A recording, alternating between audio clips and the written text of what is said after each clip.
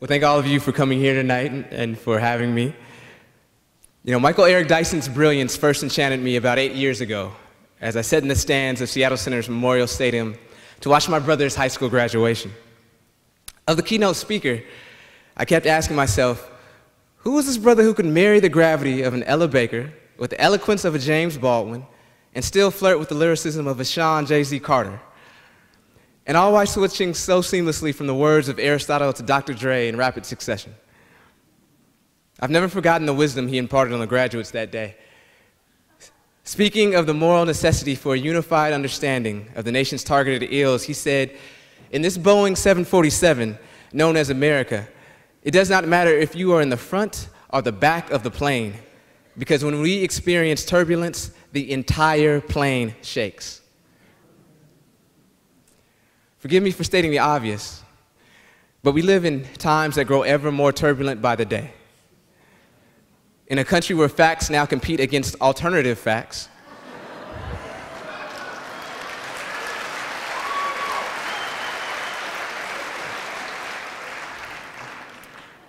We're moving towards a genuine truth and reconciliation with our nation's barbaric history of slavery and Native American genocide is increasingly difficult.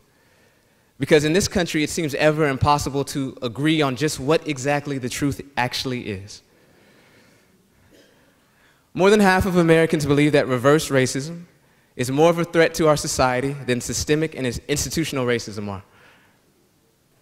Even though it is the latter brand of racism which continues to mercilessly wreak its havoc on black, brown, Hispanic, Asian, and Native bodies in varying degrees. Emerging from this murky haze last July, during the searing aftermath of the deaths of Alton Sterling and Philando Castile at the hands of law enforcement, and the fatal shootings of four Dallas police officers by a madman, was a New York Times op ed written by Michael Eric Dyson entitled Death in Black and White. Dyson's words spoke of the pain experienced by black Americans that, go, that goes unshared and misunderstood too often. To quote a young white mother I interviewed for a story on race and police violence recently, she told me, I can never know what it is like to be a black person in America. Because if my son was killed while unarmed and minding his business, it would be a crime. As others look to sweep similar concerns of black grievance, pain, and death covering, from, covering them under the rug of colorblindness, Dyson, in an utter refusal to be silent about racism's persistent ills, gave an admonishment to white America in his op ed. It read, Day in and day out, we feel powerless to make our black lives matter. We feel powerless to make you believe that our black lives should matter. We feel powerless to keep you from killing black people in front of their loved ones. We feel powerless to keep you from shooting hate inside our muscles with well choreographed white rage. But we have rage too. Most of us keep our rage inside. We are afraid that when the tears begin to flow, we cannot stop them. Instead, we damage our bodies with high blood pressure, sicken our souls with depression. But we cannot hate you. Not really. Not most of us. That is our gift to you. We cannot halt you. That is our curse. Those who were enlightened by Dyson's words recognize them for what they were the truth. As I proudly learned in my profession as a journalist with the South Seattle Emerald, the truth owes us no comfort, no reassurance, nor any consolation.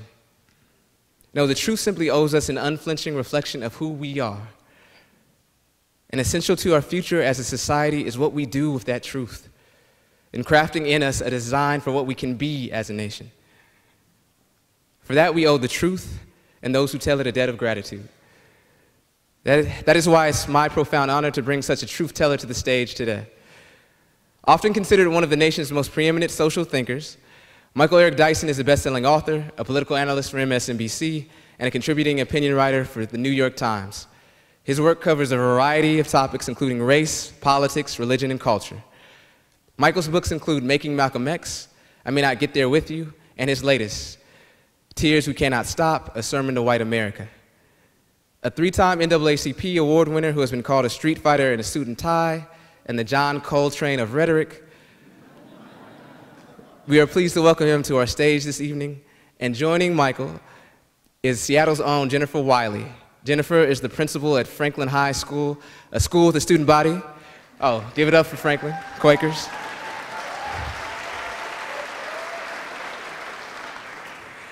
Franklin has a student body of over 1,300 students, of whom over 90% are students of color.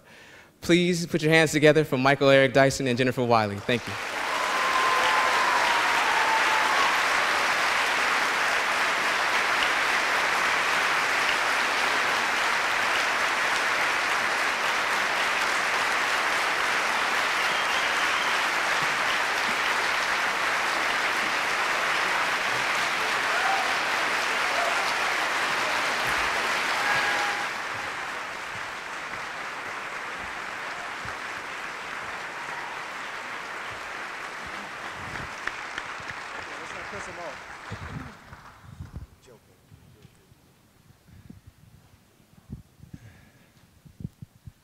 Good evening.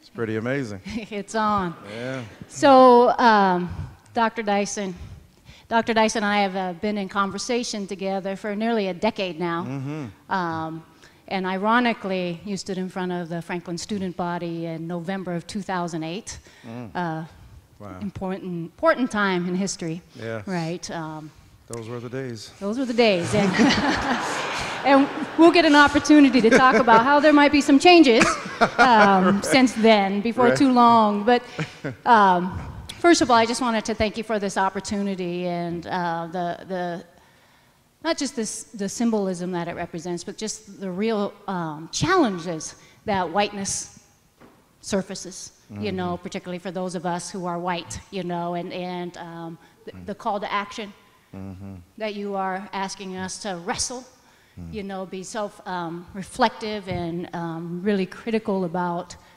the truth that we think we know um, and how it operates in the world for us and in so many cases against others. Um, and it's a very uncomfortable conversation. I'm uncomfortable now, you know, if you don't recognize that. Um, but um, I dare say that you offer some, some opportunity on the other side of this discomfort, and I want to go there with you. And, Okay. and I love the possibility of what that offers um, more than my comfort, you know. So bear with me.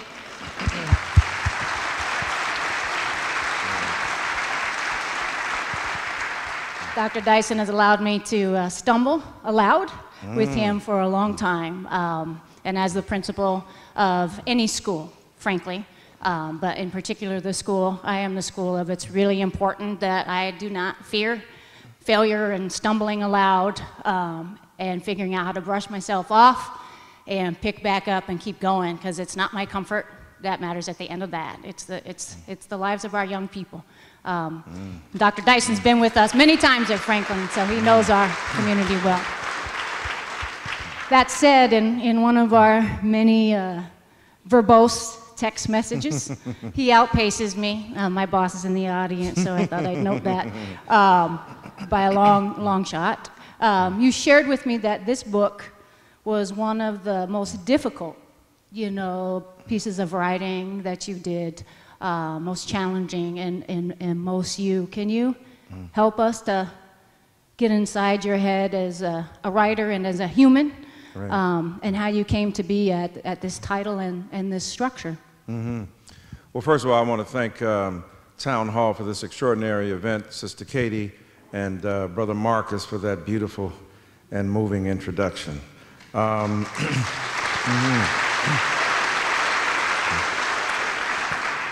and Dr. Wiley and I have been uh, chopping it up for, for a decade, and uh, I've learned so much from her, one of the most courageous and creative uh, educators I know in the land, regardless of race, class, gender, sexual orientation, uh, whether uh, Obamian or post-Trumpian. Sorry, I didn't mean to slide to post so quickly. Uh,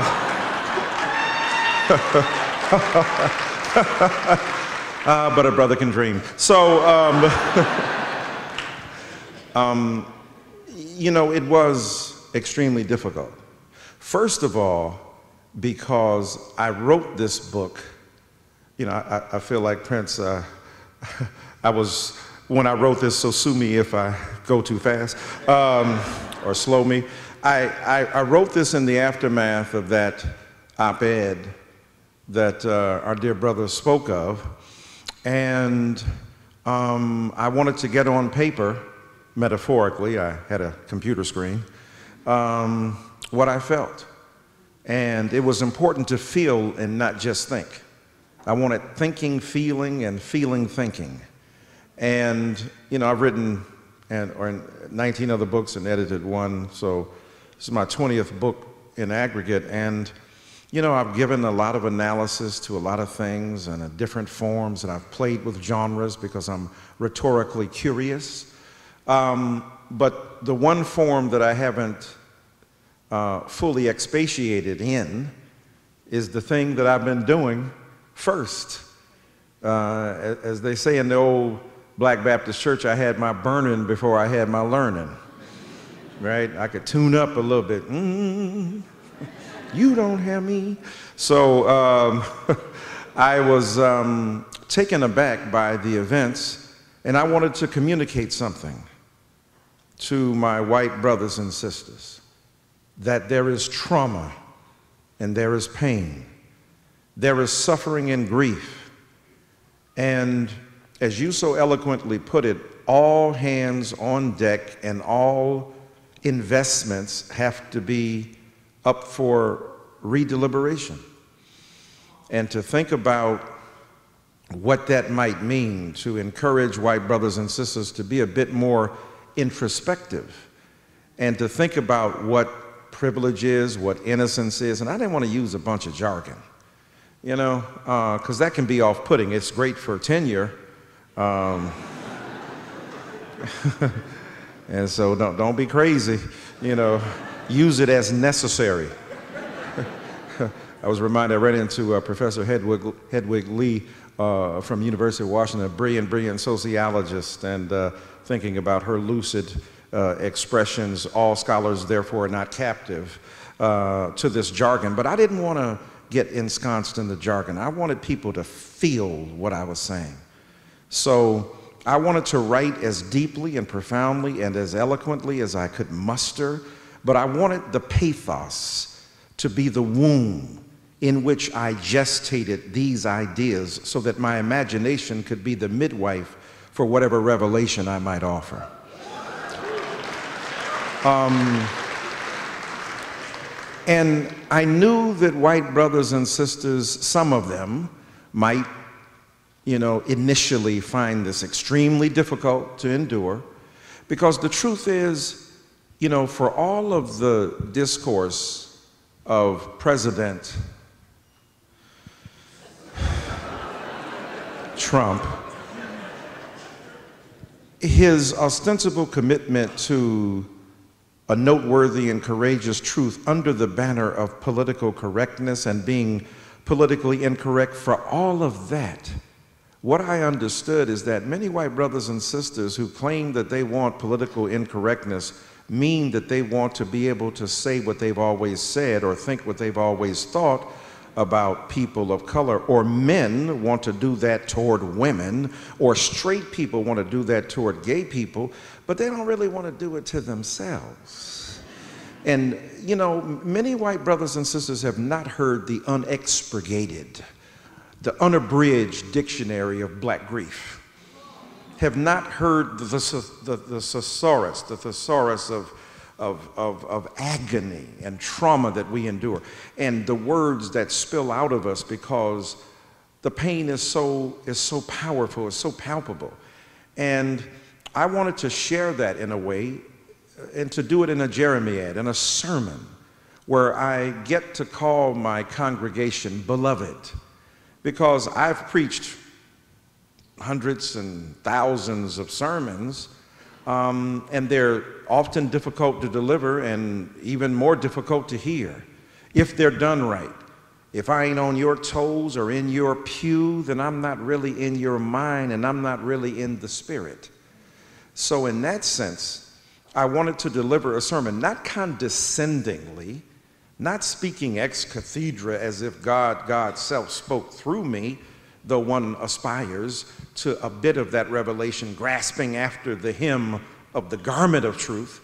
But I wanted to really expose myself and admit that it is hard, it is difficult to grapple with whiteness because whiteness has been a force that has been humiliating and horrifying and haunting, and to people of color and to white brothers and sisters themselves.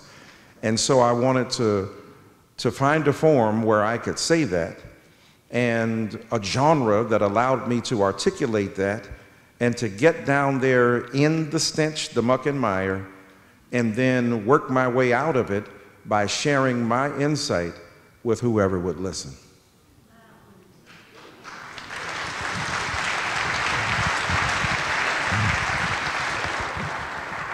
I always appreciate that you say these amazing things because that clap time really helps me uh, sneak in a read and think up the next, the next question. So you break down this notion of whiteness, this, this, well, at the same time you say it doesn't exist, that we Right. invented it, and yet Right. it's so powerful and potent and, you know, pernicious and all of those sorts of things. Walk us through that. little bit. That's a great question. I, I, you know, and I talk about Theodore Allen has a book, The Invention of Whiteness, two volumes, as a matter of fact, uh, a white thinker who tries to help us understand whiteness. So, in my sermon, the first part of the sermon uh, is the invention of whiteness, uh, inventing whiteness. And, you know, I start by saying, you know, the ugly secret is there's no, no such thing as white people, and yet so many of them, of you, exist. Um, and I mean, of course, not that you don't have corpuscles and mitochondria, pectoralis majors and latissimus dorsi. Okay, that's all I know of anatomy. Um, okay, gluteus maximus. Um, Seattle, a rapper. okay, good, good, good. good. So um, I, I knew that it would be hard for white brothers and sisters to get that, how you beautifully put it, that it is at once a fiction, right? It's invented. People are not born with a genetic imprint about whiteness or black or red or yellow or native versus exotic or foreign, right? We're not born with that imprinted in our blood or brains or our bodies, though they bear the imprint of our particular discursive and cultural frameworks. Race depends upon the society in which it exists to determine its meaning. And I wanted to say it's not in your genes or your blouses for that matter. I didn't say that there. it is not coded, it is created. Now, in the academy, I said I didn't want to use any jargon, but we talk about social construction of race. Now, people hear that and they think, aha, I got you there. You, you people of color are always obsessed with race, but it's a social construct. Therefore, you can deconstruct it. You know, you can, but it's easier said than done. Right? Cab passing you by, cab, sir. It's a projection of your unconscious, it's a ruinous reach of your imagination. Zoom, right?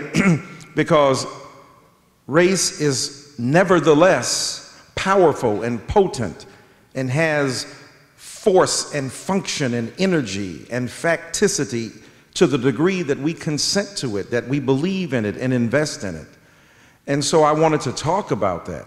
As James Baldwin said, it's a, it is a fiction, the fiction of our collective identity. And many white brothers and sisters think of themselves, I'm, I'm Irish or Polish or Italian or Norwegian or wherever they might emerge from. But when we come to America, the crucible of race pulverizes whiteness into something that is real, though a fictional projection drawn from those various ethnicities. Um, I'm reminded today I was on uh, Michael Medved's show, had a very wonderful conversation, a very thoughtful man. We stand on opposite sides of the political spectrum, but we had an interesting and engaging conversation. And in light of what has risen on the right, it is so refreshing to speak to an intelligent, engaging, reflective conservative, right? and so uh, somebody was saying, well, you know, we don't even, I've never thought about myself as white, so I'm not sure that works. I said, You're making my point. because when you're white, you don't have to think about whiteness, right? When you're white, one of the privileges is not to know you're white and to be deeply ensconced in an innocence that will not melt away, that refuses to give way to um, a broader conception of more complicated and nuanced humanity and identity. And it is interesting, Dr. Wiley, that, you know, in the aftermath of this last election, a lot of people are saying, well, we've got to get rid of identity politics. Even our dear friend Bernie Sanders said, look, it's easier to talk about racism or sexism than it is to talk about economic inequality in Goldman and Sachs. And I'm like, uh, slow down, Mace, you're killing them. Not sure that's true, right?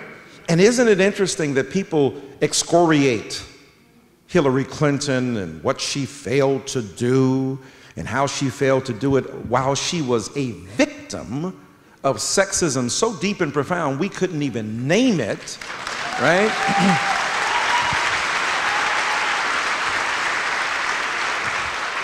well, she's not interesting. She ain't trying to be your girlfriend. Right? We ain't trying to run a Messiah. This ain't Jesus on the throne. Right? These are human beings, but women don't get a chance to be flawed like men. Right? John Boehner cries, it is the manifestation of a profound masculinity that's vulnerable. She cries, There's no crying in baseball. Right? So, Hillary Clinton is said to have ignored the white working class. So, in the name of transcending identity politics, we must pay attention to the white working class. Am I the only one that finds that interesting? Très intéressante. right? Shouldn't have pronounced the T, it's French. So, isn't it interesting that whiteness gets read is universal? and as human and therefore American. Because there's a black working class and a brown working class and a yellow and a red working class. There are native peoples on so called plots of land, reservations where they occupy a status beneath any other human being in this nation, rendered invisible. I think about my dear friend Jossie Ross, a local superstar intellectual who's here tonight, my brother. And so when we think about um, the reality that whiteness gets obliterated, eviscerated, disappeared. And many white brothers and sisters get mad. Why do you people keep talking about race as if we are inventing it? And we ain't made the game, we just revealing it. Don't hate the player.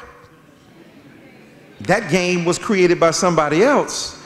And so it's interesting to me that we're now uh, chided for identity politics, and even from the left, with my dear uh, friend uh, uh, Senator Sanders, when the reality is is that politics of identity have always been at the heart of American identity. They just didn't get named.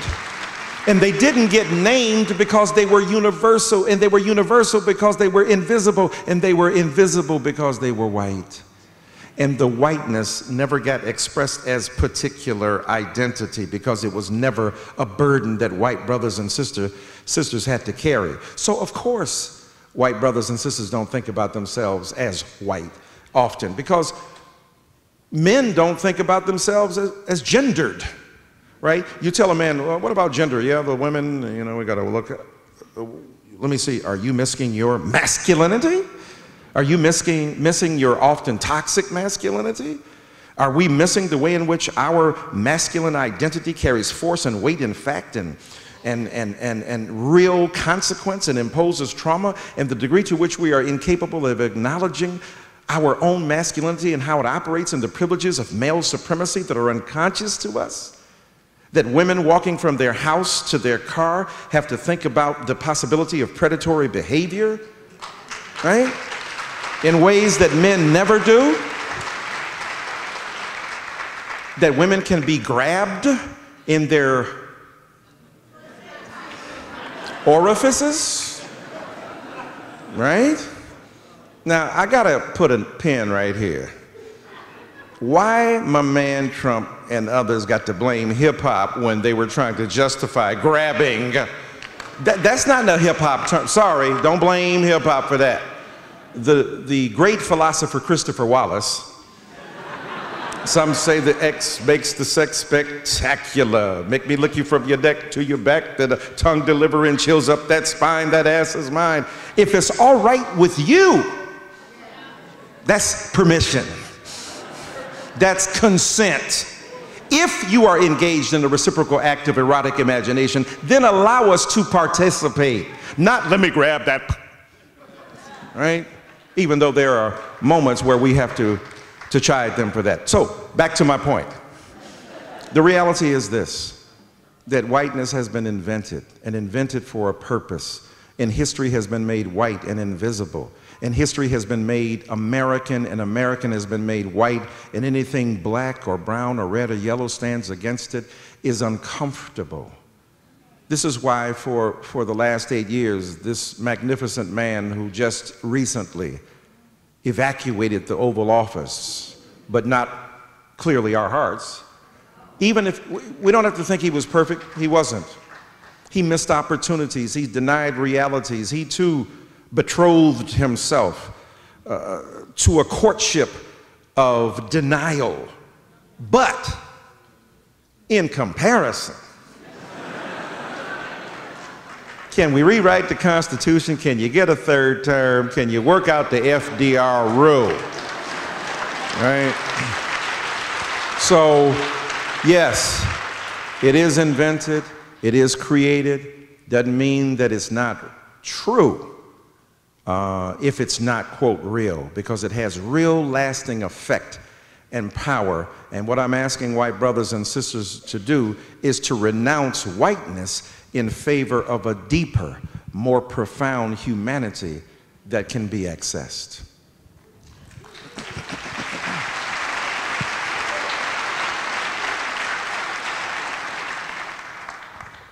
So let's talk a little bit about a charitable model of justice, mm. right? King talks, King, King echoed Augustine, right? Mm. St. Augustine about uh, charity is not a substitute for justice withheld, right? Right. Um, and I think just in my own work, I'll just out myself here mm. a little more.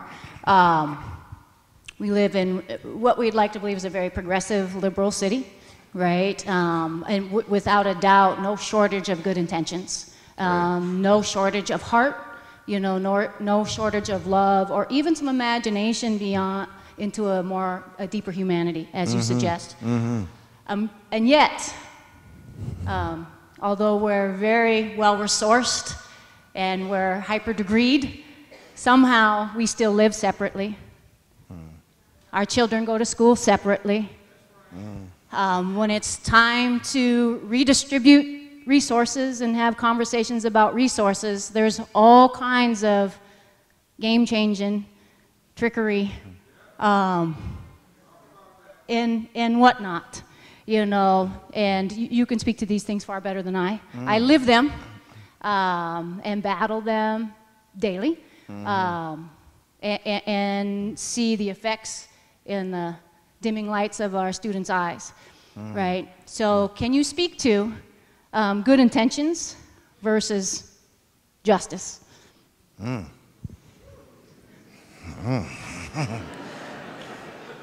Yeah, I'm trying to get some book sales tonight. I just mother. Damn. Yeah, that's half my audience, man. I'm just. he speaks to it in the book, if that helps. right. Some good recipes in the book. that's right. I hit them there. Uh, yeah, no, that's um, it's a brilliant point, actually. Um, and look, it's hard for all of us as human beings to close that gap that T.S. Eliot spoke about, speak about a conservative intellectual with, with genius, between the ideal and the reality, he said, falls the shadow. And there is a real sense, right? Shadow and Act, of course, is the title of Ralph Ellison's essays taken from that same poem. The, the reality is that we have to underscore the magnificent effort of those liberal intentions in light of what we're confronting right now. Right? This Trumpian world in which we exist of alternative facts, alternate facts, like the starters might not be available, so the bench warmers have to step in of facticity. I am the backup fact. Uh, haven't played for a while, but you know, for the last eight years we've had been arrested, but right now we're about to start. So, in this era where there is such naked and boldly defiant resistance and intransigence and recalcitrance and every other big term we can use, right? Um, to really conjure just how horrifying what we are all collectively facing is, we celebrate and acknowledge the legitimate effort of people of conscience and goodwill to do the right thing. But you've hit on what Dr. King often talked about, as you so uh, insightfully say, echoing St. Augustine make me pure, Lord, but just not now. Let me have some more fun before I get righteous. That's what always amazes me when I pastor churches. All the old people were righteous and stuff. You're just too old to do sin. It ain't just, you ain't converted. You just tired. You're exhausted. this is pre-Viagra. So. It,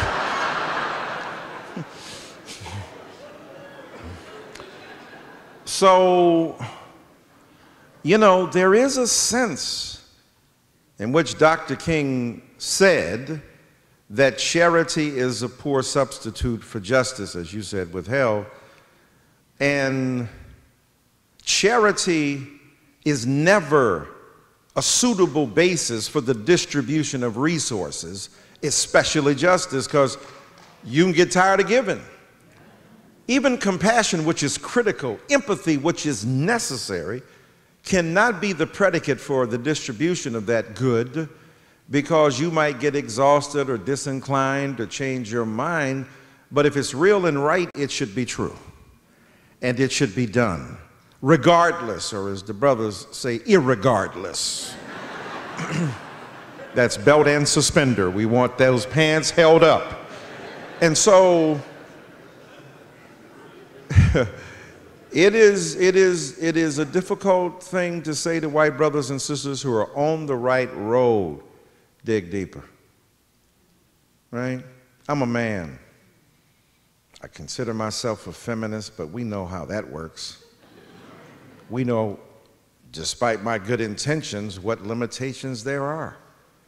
Try my best to overcome my male supremacy, my implicit bias against another gender of many, of trying to negotiate the politics of, of my own masculine vision and patriarchal prerogative and misogyny or even femophobia, just the fear of women, and trying to acknowledge the degree, the degree to which I am complicit in the very structure of oppression that I call into account and benefit from it, even as I lambast it and to what degree am I willing to unseat that authority and unhinge the doors upon which that privilege that I enjoy swings, that, that's, that's tough. Um, black and brown people and other people of color who have been victims of vicious terror and tyrannical racism in our institutions like church, using the same biblical justification that was used against us for race in beating down on gay and lesbian and transgendered and bisexual people and queer folk is, is, tough. Because we're going to turn around and do the same thing that was done to us. The oppressed become the oppressor. So, so trust me, I understand, white brothers and sisters, how tough it is. But it's got to be done. We've got to call ourselves to account. We got to say to even good, dyed in the wool white liberals that sometimes enlightened liberal engagement may protect brothers and sisters from grappling with the true dimensions of transformation. For instance, you know, it was easier for wealthier whites who lived in the suburbs to talk about the necessity of busing for white working class people because they kids, not there, they kids wasn't, not weren't, gonna get bust. You talking about, oh, let, let, let those kids, yes, that's a good principle, while your kids in private school. Hardly integrated. So now the people who have to deal with the front line, the real bigotry that was revealed, and trust me, the bigotry was real, but, but if you're richer and whiter in suburban America, your bigotry doesn't have to manifest itself because it doesn't get put on full display or get challenged, right?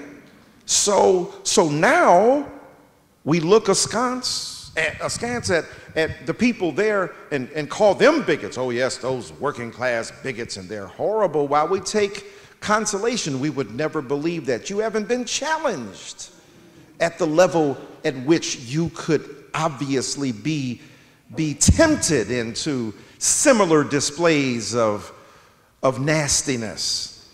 And so water finds its own level and and the ability to inure, the ability to keep yourself protected, shielded from your own knowledge of your own inclination uh, to be tested or challenged is something we have to acknowledge. So I think that even liberal white brothers and sisters have to ask the question about innocence and protection and safety and not speaking up or not being inclined to speak up, which is why we need white brothers and sisters to do so. Like when you go to Thanksgiving meals and you're a, a check writing supporter of Black Lives Matter, but Granny is talking about niggas, not niggas, niggers. And you're going, Jiminy Cricket, what are we going to do? Hallelujah. Let me watch the Detroit Lions lose again and the Seahawks perhaps prevail. And you, you got to challenge Granny, not before the turkey is cut, not before the stuffing is consumed, or the macaroni and cheese, and the sweet potato pie. Oh, I'm sorry, uh, the pumpkin pie.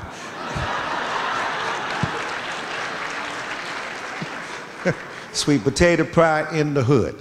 So, but then softly and gently and compassionately, you got to confront that. Granny, you know, all people are not like that, and you're making these statements, and a lot of people who behave it that way that are kinfolk of ours, right? I mean, for instance, I don't want to hear no white brothers and sisters tell me for the next four years about affirmative action. I mean, and affirmative action ain't what people make it out to be. It's a noble concept. But the way that a lot of white people twist it to be, what you're looking at at 1600 Pennsylvania Avenue right now, arguably, potentially the greatest, most incomprehensibly incompetent presidency ever. right? Ever. Like, on the one hand, a president just left is being interviewed by Michiko Kakutani at the New York Times, and he's talking about the books that have shaped him. I mean, first of all, where you get the time to read, bro? like, for real, you reading too? Dropping bombs and reorganizing the geography of destiny and healthcare, and you up here reading science fiction and and, and weighing in on the nuanced interpretation of life by scribes. You're bringing Junot Diaz and, and, and, and, and Dave Eggers, five writers who have influenced you, to the White House? From that to a dude who tweets. Jesus, Lord, have mercy on our souls. Right? This is the first toddler presidency. But the poop in that diaper is from what he was fed. Frankenstein is the name of the doctor, not the monster. Whiteness, even in liberal versions, created certain of the agonistic and antagonistic and monstrous manifestations of whiteness out of control on steroids, pieced together like Frankenstein's monster was, from discarded portions of our psyche and our collective unconscious, and whiteness helped structure that. So Donald Trump is the, the, the, the monster, but the real creator of it, all of those times when we ignored the necessity of dealing with our polite racism or our looking the other way while we know people in the street were being hammered killed by police people unjustly, and we went home to our nice houses and never raised our voices. And in that sense, we have been complicit into that. Many more of us, of course, than are willing to admit it, including white brothers and sisters and including white liberal brothers and sisters. So charity is important. In fact, at the end of my book, I talk about forms of reparation that white brothers and sisters may make. You don't have to wait for the government to institute reparations because they ain't. But if you want to reach out and help kids who are black with scholarships or buy computers or buy books, that stuff is important. But it's not a substitute for justice because justice is giving people their due and making certain that regardless of the fact that they don't look like us that they deserve the same protection we have. So that when a police car rolls up on a 12 year old child i cannot tell you the pain and the hurt to see a 12 year old boy shot down two seconds after that cop car arrives.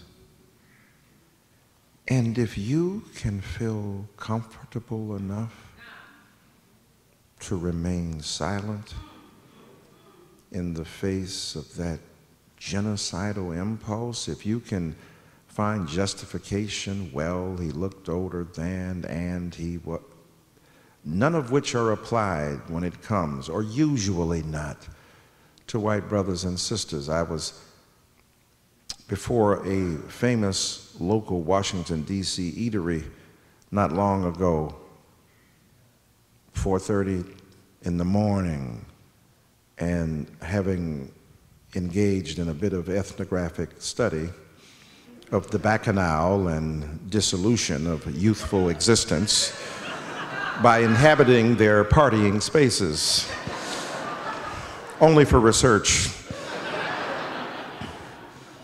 And then in front of Ben's Chili Bowl, a young white boy was accosting the police. And I said, Oh my God, they're going to kill him.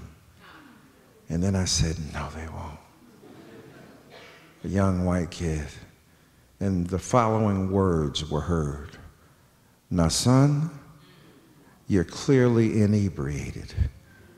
You need to go home.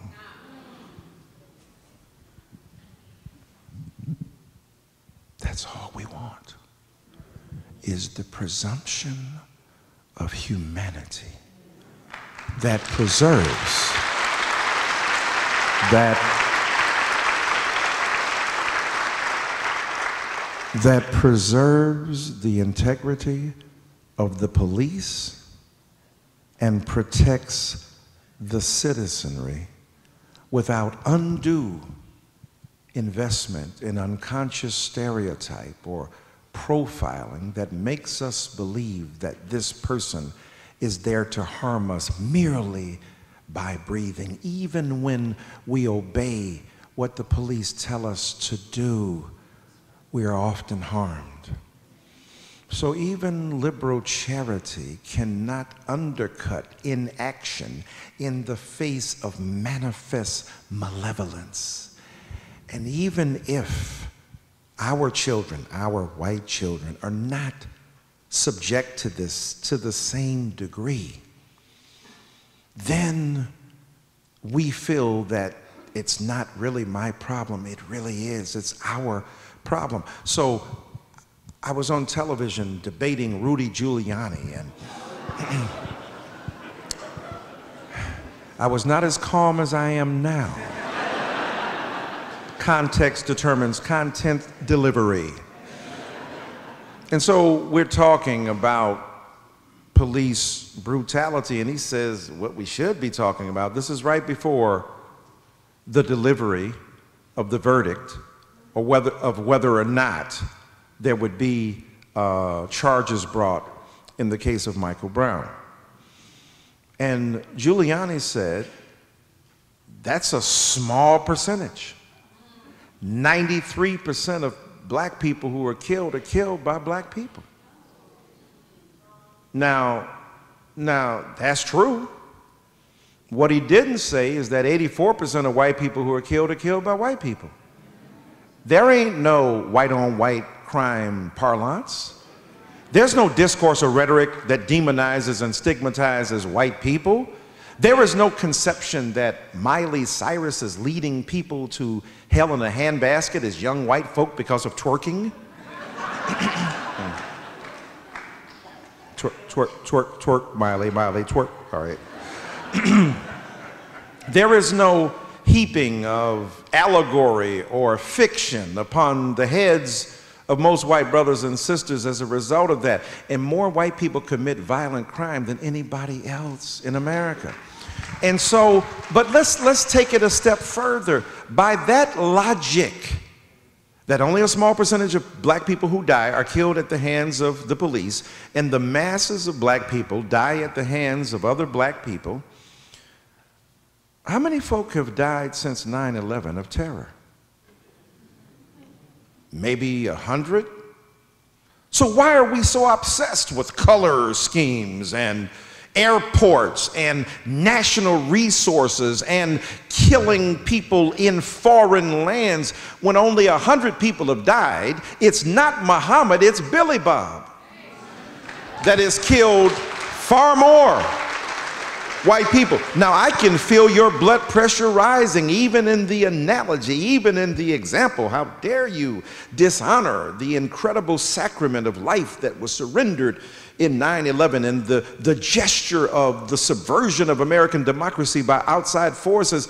But I'm saying if it's true for us in terms of the numbers, it's got to be true for y'all, us, this culture, in terms of terror by the numbers of people, if that's the only consideration. But of course, it isn't.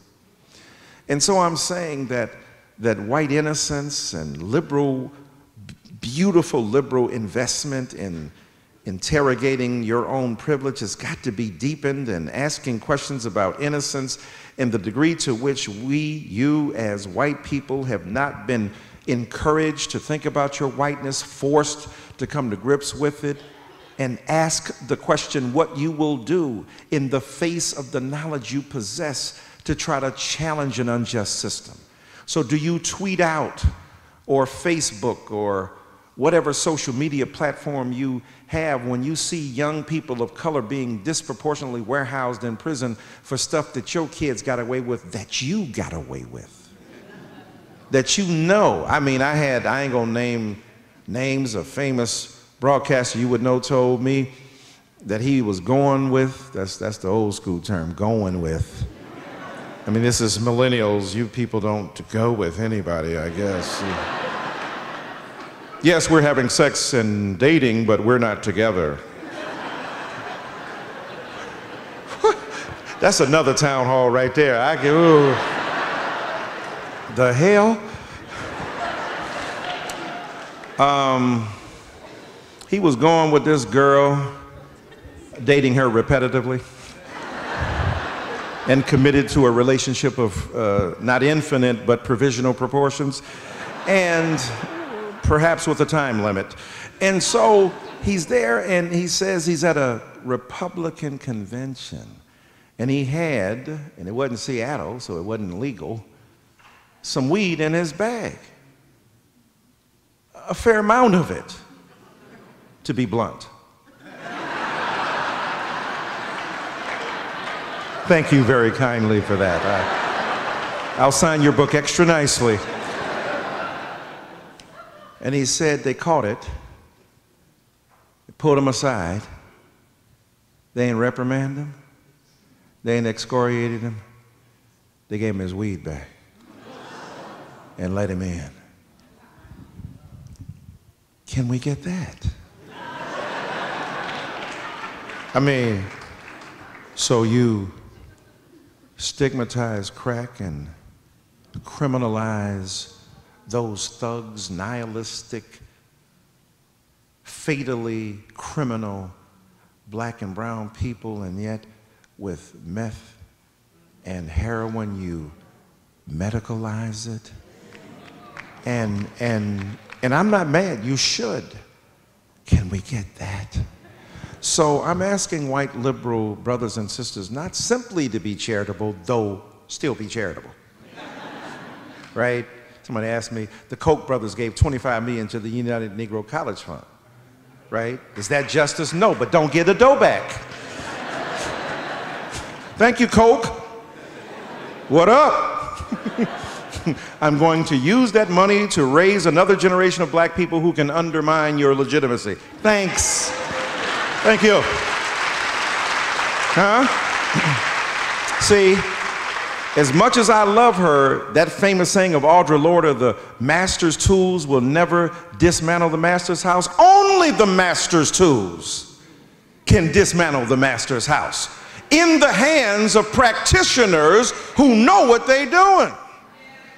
Take that tool and dismantle, demythologize, take the eloquence of the language, take the polysyllabic construction, take the noun and the adjective and the gerund and the dangling participle and craft them into words that explode the mythologies and reveal the inherent inaccuracy of what is being done. Yes, the master's tools must be used to dismantle the master's house. And so for me, I think that that we want to ask more of white brothers and sisters because you got more. I'm sorry, I'm an old Baptist preacher. To whom much is given, much is required. So if you balling, as opposed to balling on a budget, it do be a difference. Because the folk who got it, you'll never know it. And the folk who think they got it, try to show it. Oh, man. Bill Gates don't dress like no Dapper Dan. But he paid. Right? That's uh, zero copula of African American vernacular, crossing out that we get right to the matter. Not he is paid, he paid.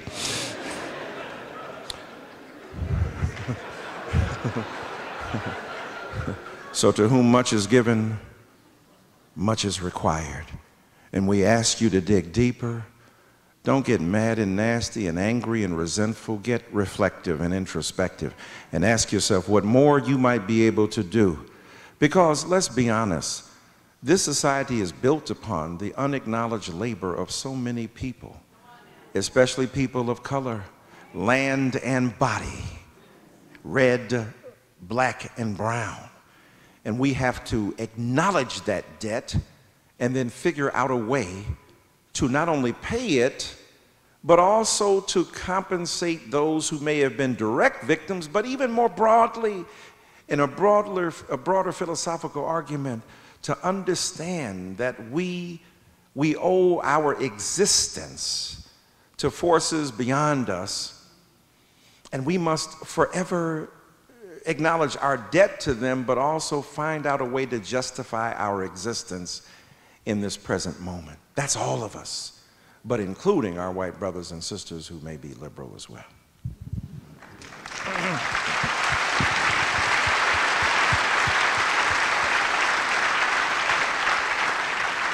You gave me a workout on that one, Doc. You worked me out on that one. I was following you all around to make sure catch you back at this spot. Right. So I want to go back to November 2008, right? And you, you gave a wonderful ceremony, or rather, uh, assembly to our mm. students who stayed mm. long after the dismissal bell. Now, if you ever been out of high school, when the bell rings, that's their time, mm. right? There, there's nothing you can do to get in the way of the exodus at the bell, except put him at the microphone, because they, they uh, were riveted. So, as Marcus pointed out at the beginning of this evening, when there's turbulence on the plane, we're all in it. That's right. So we do have a new president. I am not yet able to say president in the name. I'm working on It's it. It's tough. It's tough. It's tough. tough, I'm not there tough. yet. But we do have a new president. If you were in front of my student body again Mm. today, Mm-hmm. what would you tell them? You know, um, in the book, in fact, do you have a copy? Let me. Had me nervous. That's Reed. She done read more than I done wrote. And if you don't buy the book, you'll be missing something for real. Right. Let me let me read you what uh, what a great preacher, mystic named Howard Thurman wrote. He said, "At the time when the slaves in America were without any excuse for hope, and they could see nothing before them but the long, interminable cotton rows and the fierce sun and the lash of the overseer, what did they do? They declared that God was not through. They said, We cannot be prisoners of this event. We must not scale down the horizon of our hopes and our dreams and our yearnings to the level of the event of our lives. So they lived through their tragic moment until at last they came out on the other side, saluting the fulfillment of their hopes and their faith. And this is what I say. Beloved, if the enslaved could nurture on the vine of their desperate deficiency of democracy the spiritual and moral fruit that fed our civilization, then surely we can name and resist demagoguery. We can protest. I was there in Los Angeles, 750,000 strong, on, on Saturday with the women's. I don't want to essentialize gender, but women are better than men. I wish I could be more complicated about it, but there it is. We can protest and somehow defeat the forces that threaten the soul of our nation. To not try to give up on the possibility that we can make a difference, can make the difference, is to give up on our past, on our complicated, difficult, but victorious past. Donald Trump is not our final or ultimate problem. The problem is instead allowing hopelessness to steal our joyful triumph before we work hard enough to achieve it. Now, thank you.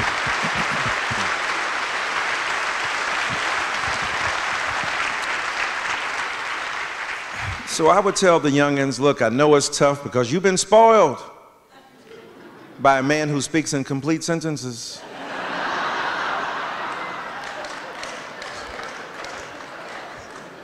By a man who actually thinks before he talks, right? Maybe too hesitant, but dadgummit is thoughtful and creative and, and brilliant. And even if you disagreed with him, and I did, and you did, and some of us did more often than others, but there was never the doubt that there was a heartfelt wrestling with the dilemma at hand and bringing the most judicious wisdom available on a particular problem to wither it under the force and intensity of high intelligence. Um, so are uh, y'all been spoiled, and that ain't the case. So now what we must do, I would tell young people, study your lesson, as my daddy used to tell me, even more so now. This is not the time to give up, this is the time to go in, to dig deeper into our history. Know what the Constitution is, because these people really just don't. They just be making shit up. I'm, I'm just saying.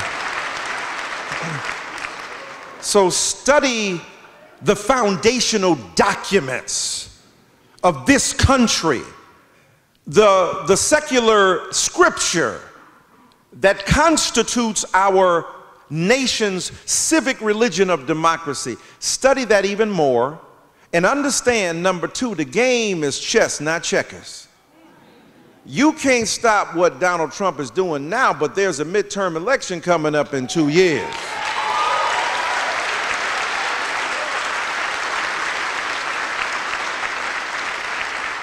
And so you got to have a George Clinton plus Bill Clinton approach, right? And George, Clinton said, free your mind and your ass will follow. right? And he also said, we're going to turn this mother. I mean, come on. So, so we got to turn this mother out in two years. We got to take a lesson from the Tea Party. Don't be mad. They, they, they got what they wanted. Now it's going to burn us all up. But take a lesson in terms of lying in wait and understanding strategic down ballot voting, making senators and Congress people vulnerable as a result of the pressure, and understanding that we have the power to deny Donald Trump the, the, the House or the Senate so that he can't just have all three, the presidency and the House and Senate, and do the kind of crazy stuff that he wants to do because even fellow Republicans are looking at him going, my God, look at the interview or listen to it, uh, or look at the transcript at the CIA the other day. This is madness. This, my brothers and sisters, is the projection of this infantile aggression that is so much more dangerous because his, his hands metaphorically are, are, are on the button. And, and, and except he ain't gonna blow them up, he gonna show up with them. Because imagine a person of color or a woman being in bed with Putin the way this man is. Who, he would have been read out, right? You got a problem with Snowden? And your president is beseeching Russia to hack Hillary Clinton. But the greatest hacking wasn't from Putin, it was from those 900 machines that were disabled or uh, closed down as a result of voter ID laws. So, like white innocence with white liberals, we as Americans would rather focus on Putin than focus on what we did in this country to deny legitimate citizens the right to vote. It was far worse.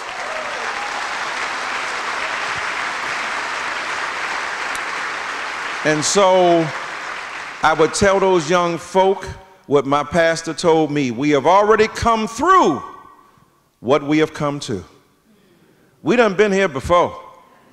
If, if, if, if Thurman said, We have been through the long rawhide whip of the overseer, we have been through lynching where where the invidious denunciation of life and the humiliation of even the, the pretense to humanity existed, where white brothers and sisters lynched and strung people of color high from trees and swung them into their ultimate reward at the end of a rope, and then snap pictures of it, postcards at picnics to reveal the pathology of the white imagination. A kind of Twitter posting, a kind of social dyslexia, getting it morally backwards. And so, and so, yes, we must say to them, we have endured that. We can endure a Donald Trump. We can withstand it, but we've got to call upon those resources of the past, and we got to get beyond some of our own bigotry from within, no matter who we are. Howard Thurman said a bigot is a person who makes an idol of his or her commitments. So you fetishize your particular understanding as if that's the only way. We in the boat together now. We got to work together. And why I said women are better than men, I said that because, besides it being true, what I said that for is because there were tremendous differences in this march. You know, pro-lifers, people with choice, women of color who are, you know, been working saying, where y'all been? Y'all just getting on board. Black Lives Matter and shit like that been going on and y'all ain't done nothing. But then there are white women who finally got the, you know, message. Or, you know, because 54% of the women who voted were what? Voting for Trump. What up with that? Got to hold them to account. Come on now. Come on, white women's. Get on board here because Trump ain't to help you. He trying to grab it. He can't help you deliver it. trying to tell you what to do with it in uh, some old white men in the Senate trying to tell women what to do with their bodies. You don't even know what a body is, dude, because you're half a cadaver standing up speaking.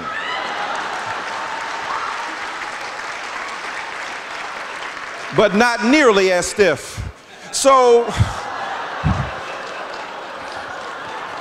okay, okay. That was literally a low blow.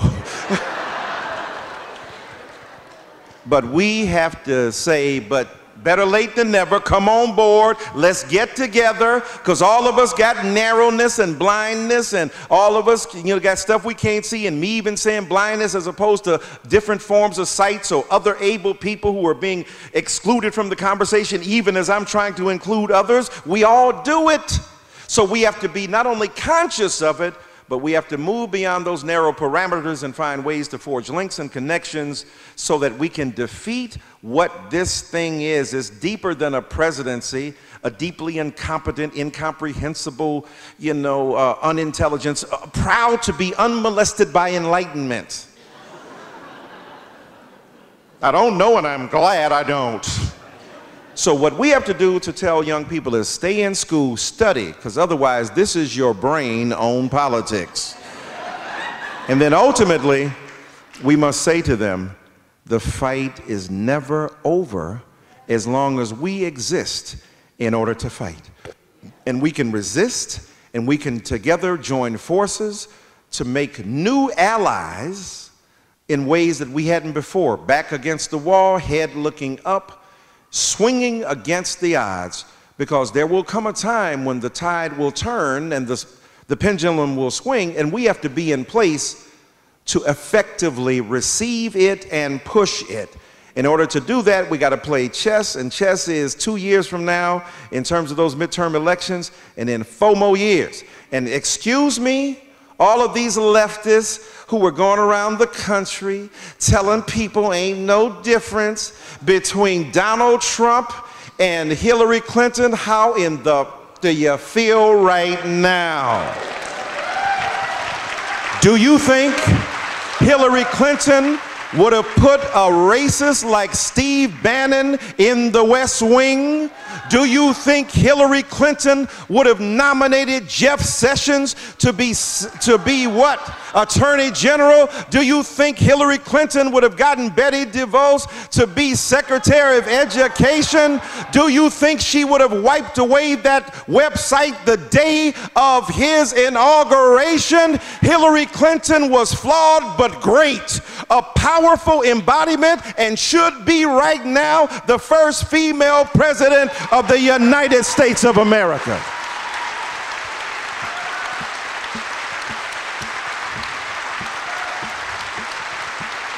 And so, let's not make that damn mistake again. We ain't electing a messiah, we're electing a president. And we need to strategically be thinking right now about how we position ourselves, but not reduce the complexity of politics to electoral politics. Grassroots organizing on the local level. What happened on Saturday wasn't no organized political moment it was the grassroots around the world, around the world, saying we will not be trumped. That's what I would tell the young folk, plus listen to some good music and take advantage of medical marijuana.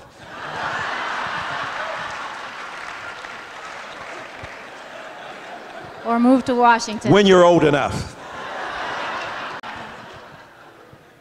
So we're, we're winding down because mm-hmm. we want to give the people an opportunity to engage with you. Mm-hmm. Um, so I just wanted to take this moment to, to thank you. Mm-hmm. Right, first and foremost, um, as any good teacher and any good preacher does, you saw me as a human being first, my humanity and my heart, um, first and foremost, and engaged me.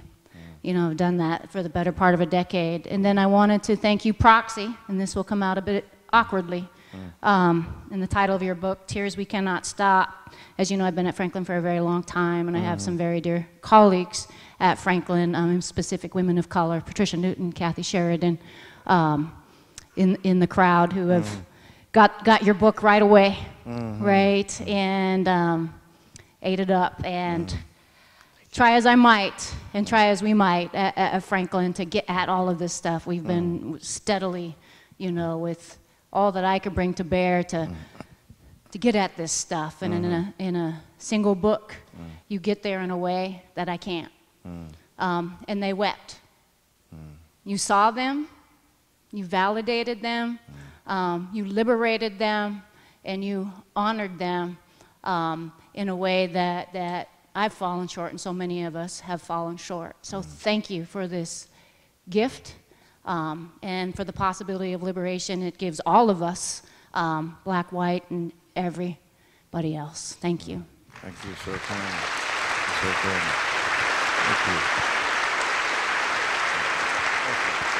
Thank you.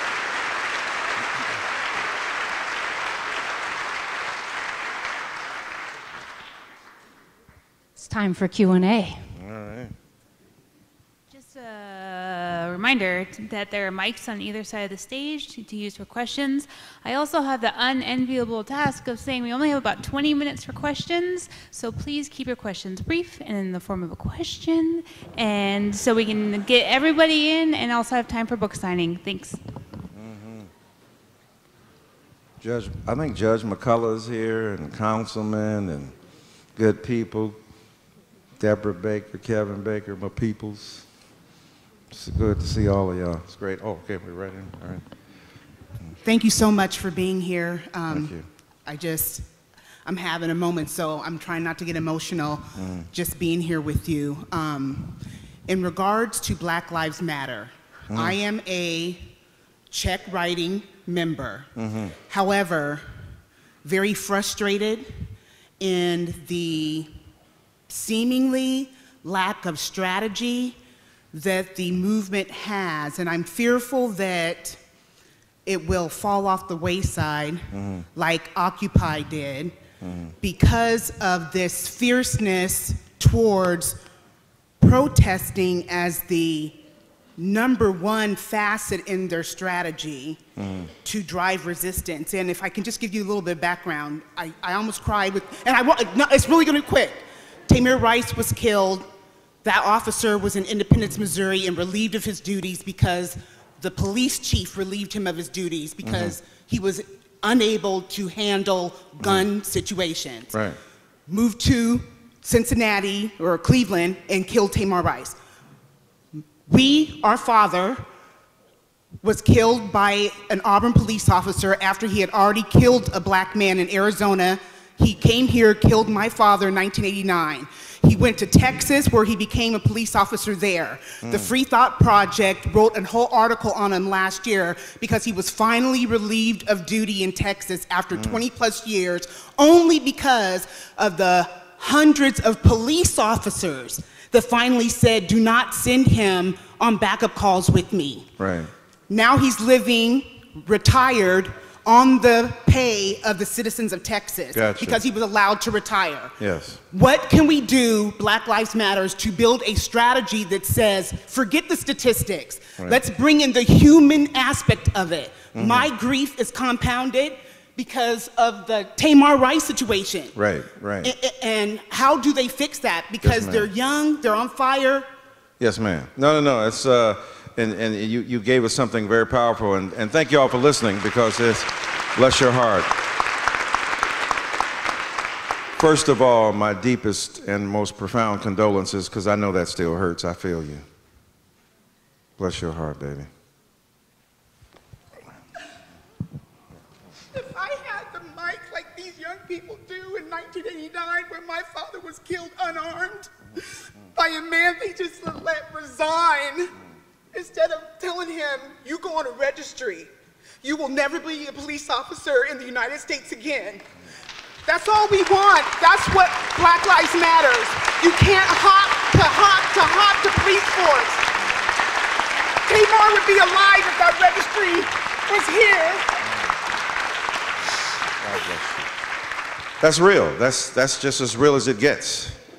Um, and uh, your visceral and, and palpable pain, and we pray for you. We send good thoughts and healing to you, but something's got to be done. Two things. First of all, I think you're absolutely right, and, and I think many people in Black Lives Matter understood that. They released an incredible document, though an incredible document. And if you go to Boston Review and look up Robin D.G. Kelley, uh, who did a brilliant analysis of that document, uh, Black Lives Matter actually has a number of thinkers and activists and strategists who are doing just what you're speaking about.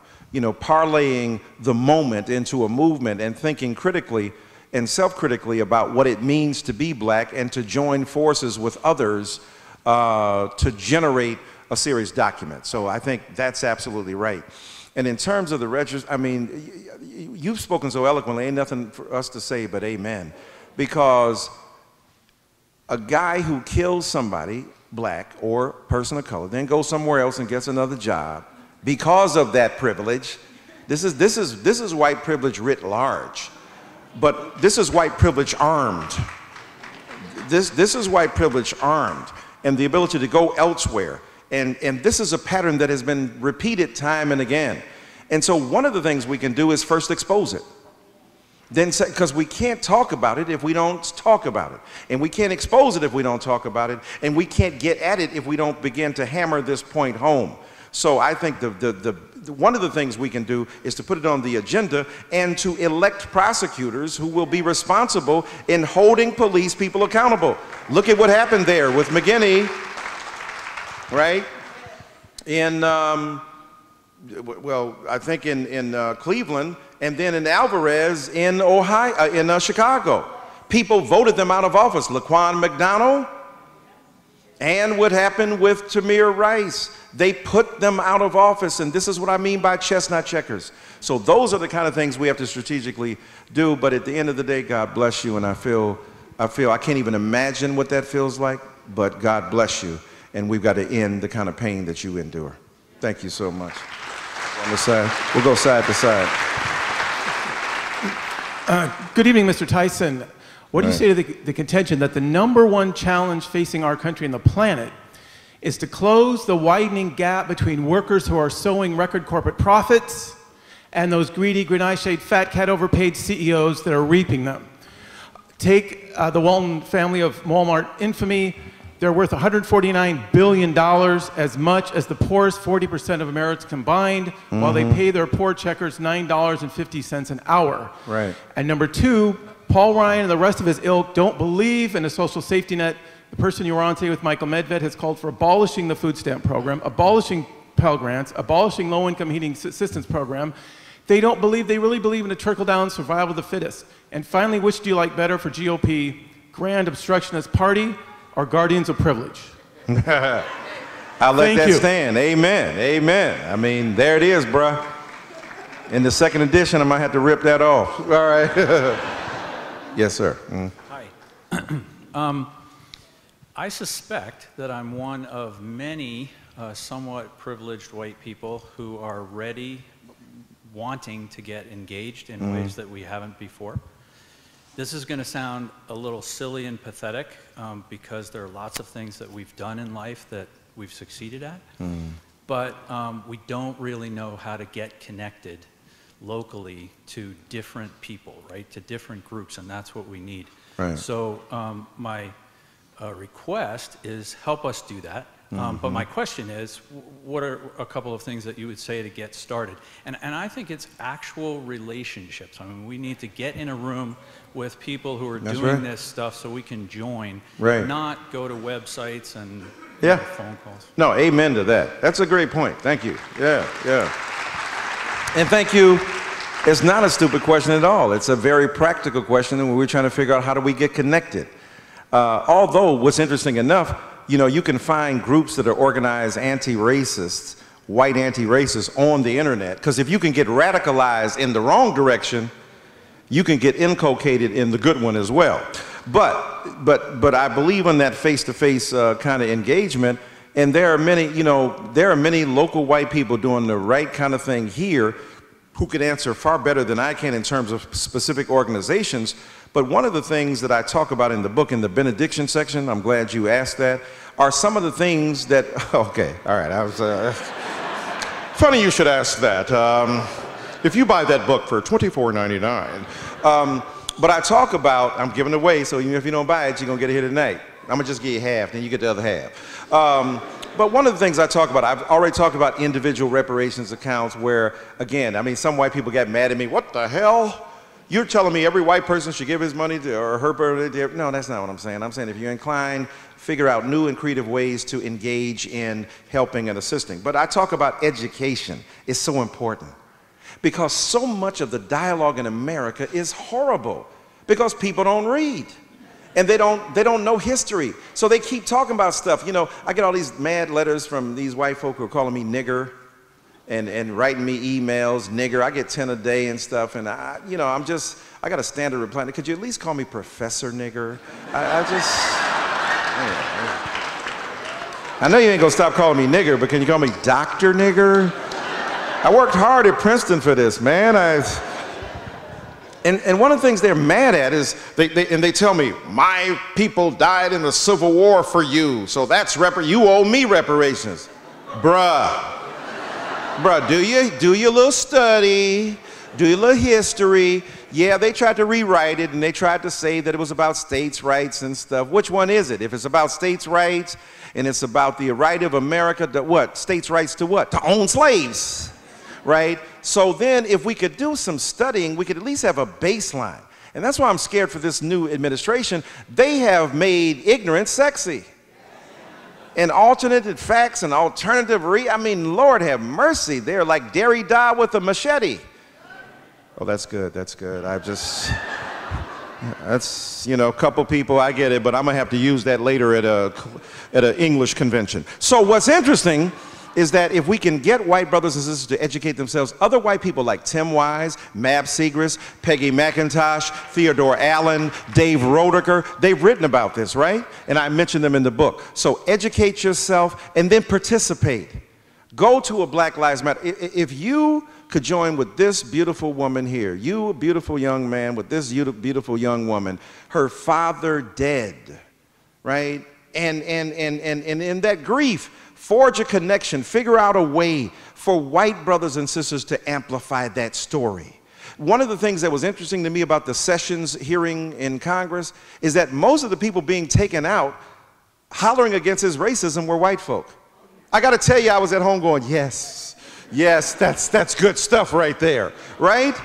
Not only because they might be able to afford the bail, but what's interesting is that brother go to jail like, hey, I'm gonna be here for a minute, right? And not to be funny, Sandra Bland would be alive today if she could pay $500 in bail.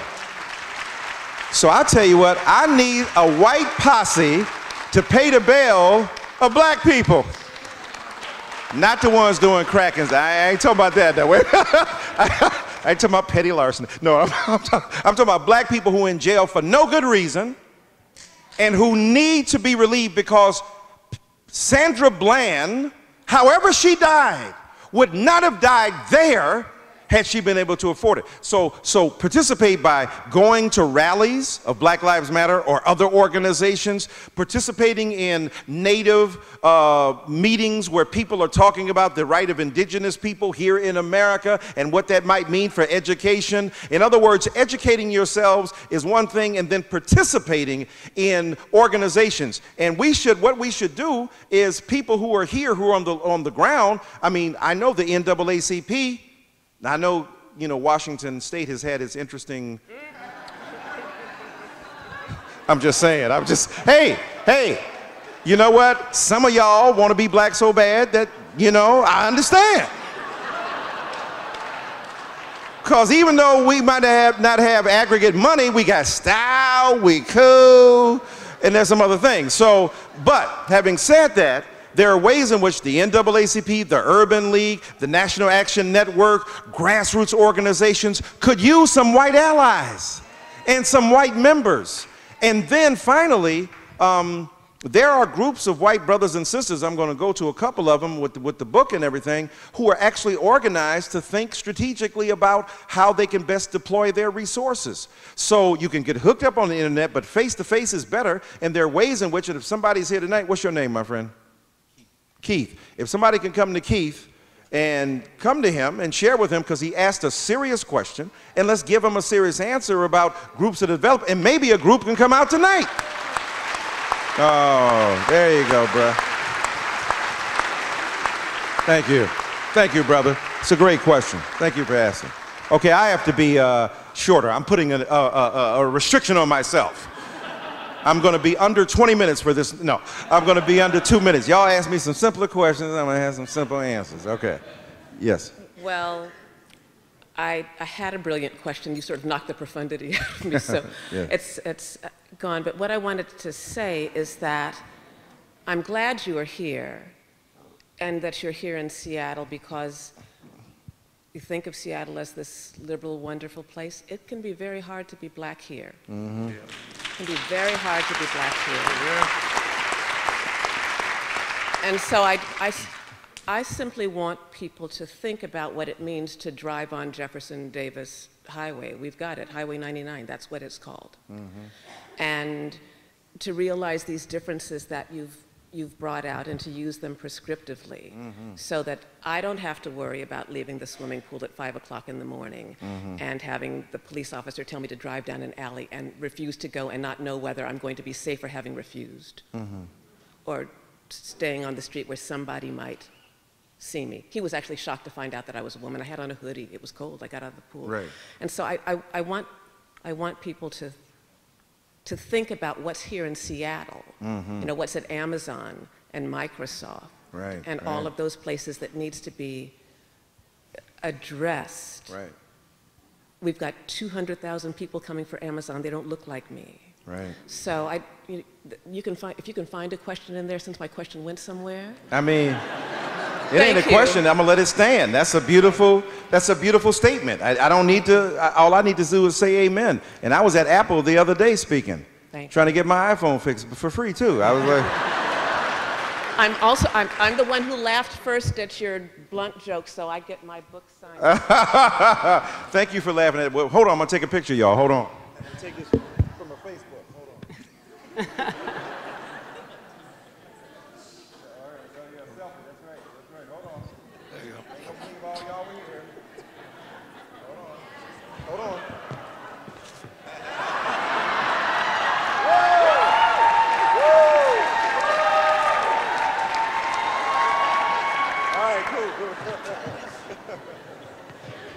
Thank you very kindly. yes, sir. Brother Dr. Dyson, I, I, just want to thank you as a fellow academic to be able to hear you. Um, I'm a professor at the law school here at the University of Washington. I teach race in the law. Beautiful. And What's your name, sir? My name is Edwin Lindo. Um, and my question is why is it so taboo to critique and question our economic system because you, you suggested that whiteness created this country, and I, I would amend it a bit and say that it was actually blackness that created this, it was darkness that created this country, mm-hmm. and that white came out of critiquing, demoralizing, dehumanizing poor and people of color in this country, starting mm-hmm. with the Native Americans. Mm-hmm. It then evolved to making darkness poor. And then it evolved to making whiteness a property right. Mm-hmm. To the point where James Baldwin so eloquently said in his debate with um, Bill Buckley at the Harvard, at Harvard, or sorry, uh, in England, where he, he said, I walked into a Western Union waiting in line, and blacks had to wait in line until every white person got served. Mm-hmm. And I finally made it, and she gave me that look that look of, I may also be poor, but at least I'm not black. Mm-hmm. That, is a that is a property right. That is, it's been converted, it's been changed from denying humanity to blackness to now whiteness being a right so profound that you gain from it exponentially. But that comes out of an economic system that created darkness to be bad so it can continue slavery. Capitalism continued slavery for its own right to exist. Mm-hmm. Why don't we have the right to question and critique it to a point that it may, may make people uncomfortable mm-hmm. because they're benefiting from it, including right. myself? No, no, no. It's a, it's, a, it's a great point. You know, I was on a panel with another great law professor, Derek Bell, the late, great Derek Bell. And he told the story. He said the communists came to, to Harlem to recruit the Negro. And they were talking about the revolution and economic inequality and social injustice and how that might be eradicated by the presence of this particular document and these particular ideas. And he said, a black man raised his hand and said, can I, can I ask you a question? He said, after the revolution comes, are you still going to be white?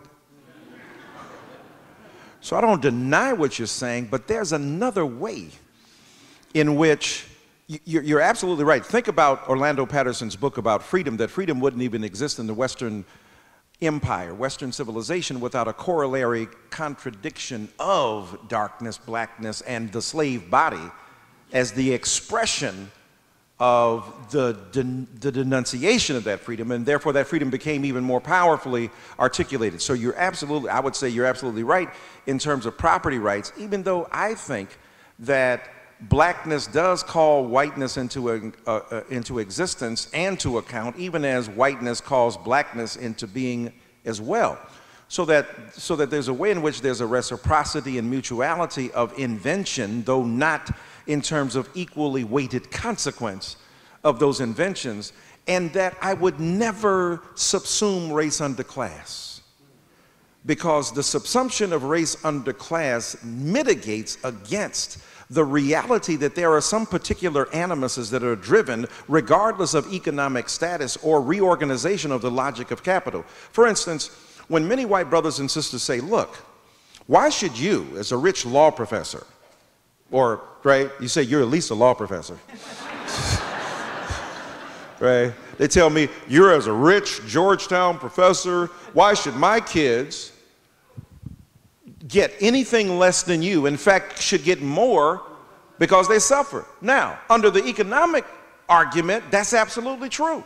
On a pure economic consideration, the maldistribution of wealth is predicated upon a pure calculus that determines the relative impact of that economic denial.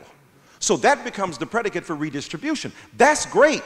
But what that got to do with the race that occurred? Jackie Robinson's kids didn't get an exemption from white water fountains or from Jim Crow. Joe Louis's son and daughter could not be exposed to what the average white person experiences. So I'm going to take your same example, but flip it on the race side.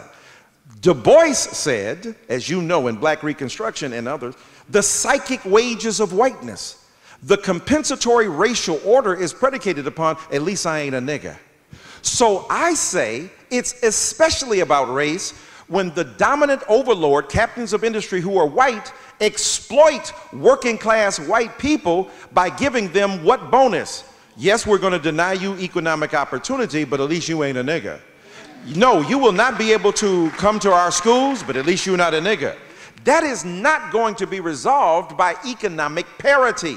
That will be resolved by acknowledging the centrality of racial difference and the animus of blackness or brown or red or yellow and the degree to which we got to fight that simultaneously. That's why I said, and let me be more explicit since you asked that question or made that comment, Bernie Sanders is the left wing version of Donald Trump, not in terms of ideology. Not in terms of understanding, but you got two elderly white men who are unfamiliar with and disconcerted by race. Now, that's a big difference. I'd rather have Bernie Sanders there. Hoy my man. Let's get down with Bernie. I'm gonna ride till the wheels fall off. But there was the same liberal intolerance of racial difference when Black Lives Matter pushed him because he felt he had already achieved what they talked about because he said it's about class. No, sir, it's also about race, and God knows about gender as well. And when we put those together, I think it operates. So you and I, I think, would be on the same page in that, but we'll talk later because you're smarter about that stuff. All right. Thank you, sir. Awesome. Just want to make sure uh, this microphone worked. By the way, whose lives matter? All right, I just want to make sure room was down enough. All right. Um, anyway, brother, thank you so much for uh, coming. Also, thank you for these zingers. Are these copyright? These are amazing. Um, yeah, man, give me some acknowledgement up in here. I, I, gotta, I gotta feed my kids. All right, fair enough, fair enough, fair enough. Unlike, unlike Apple, I want you to do that. Okay. anyway, um, so um, I this year was personally it was a lot for me. Um, just you know, all transparency. I actually worked uh, for the party uh, for a little bit here in Washington uh, during the election, and there were a lot of good memories, a lot of bad memories. There the party? oh, Democratic Party. Oh, okay, yeah, Uh, okay. yeah. I was going to say comrade.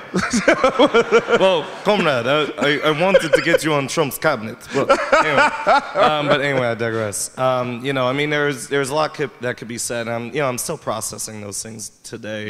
You know, try to, as you said, figure out like how do we go in, right? How do we uh, push forward? However, uh, one there, there's this one hanging problematic that I see in all this, right? Uh-huh. That you know, as as much as white supremacy had a role in Trump's win, as much as hmm. maybe towards the end, like we should have definitely read the writing on the wall, and you know, like speaking as someone who knows the far left a little bit, there was you know a lot of indifference to the fact that Trump's a psychopath. Hmm. And it has like very quasi-fascist te- fascist, fascist tendencies, right? And they have to open the social studies book to realize that. However, you know, going forward, how can we hold those who are at the wheel accountable for like for not quite frankly for you know failing and getting him well i don't want to say getting him but failing and ending up with him elected? Because you know like on a local level you know there were seats that were dropped here in washington you know on um, uh, state level there were you know situations where could have been better right and for me you know as an activist and for me as a resident here and someone who wants to resist the next four years not just survive but resist the next four years i want to know you know in your opinion how do we basically how can a young brother like me go go you and say dr dyson i, I don't think that's right You don't think what? uh, i don't think that's right You don't think? Oh no, no. I, theoretically, like if you were, you know, if you were someone in power to go to you, right, Mhm. and say, I don't think that's right. Like, how do we hold those Gotcha. in power on our side accountable? Well, how do we hold them accountable? Yeah. Thank you, sir. I appreciate that. No problem. Thank you. You're All right. awesome. All right. Thank you, Godfather. You understand everything. Look how they massacred my boy.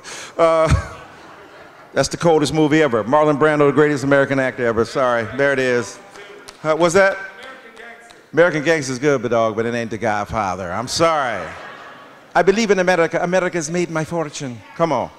Um, so, look, how we hold people accountable is we do a bunch of things. We vote, and we try to keep them out. Now, here's the irony about that, though. All of us who are arrogant Americans, you Venezuelans, you Cubans, you don't get one man, one vote, one woman, one vote. Then we discover, what, what, what the hell is the college? What? What? I've been the co- electoral college.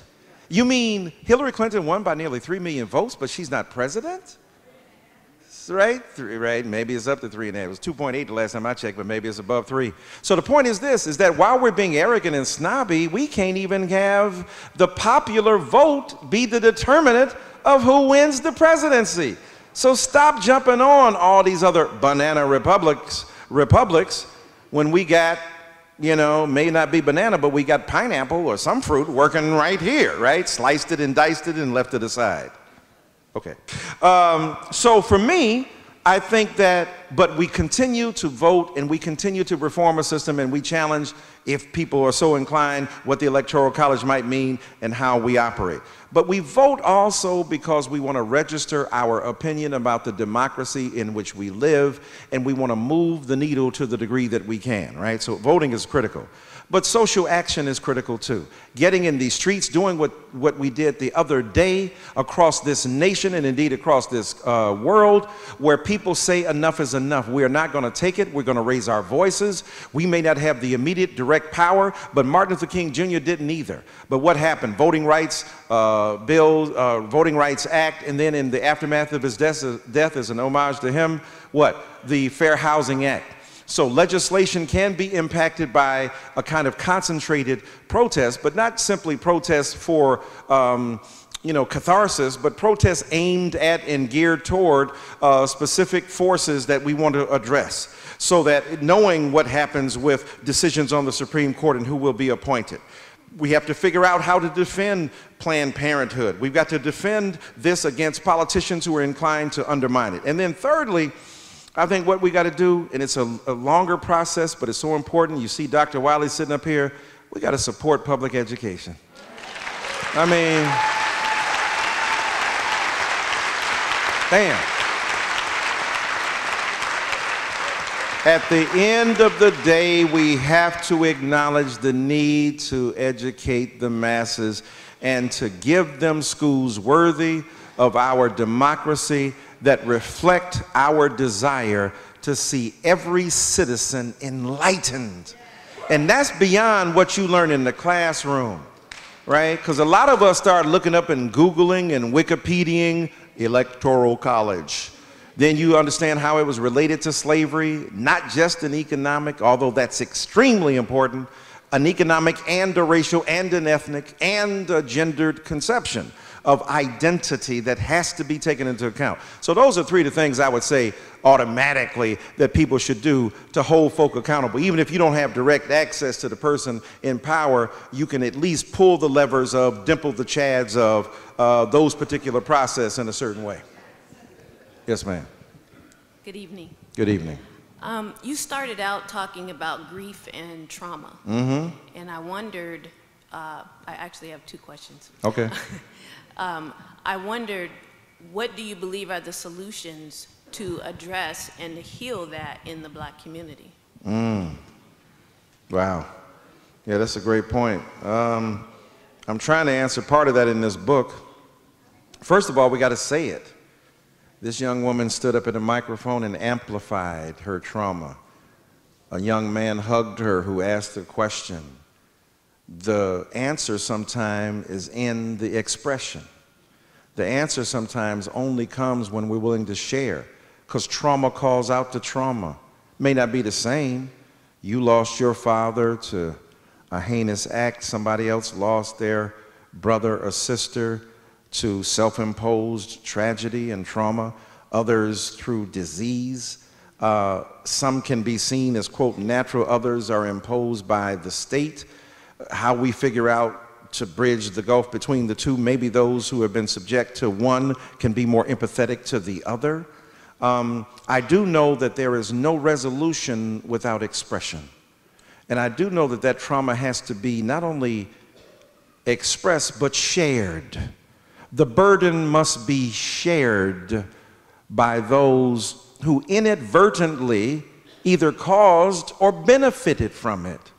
You know, the anthropologist Rosaldo, uh, uh, Renato Rosaldo has a concept of uh, imperialist nostalgia.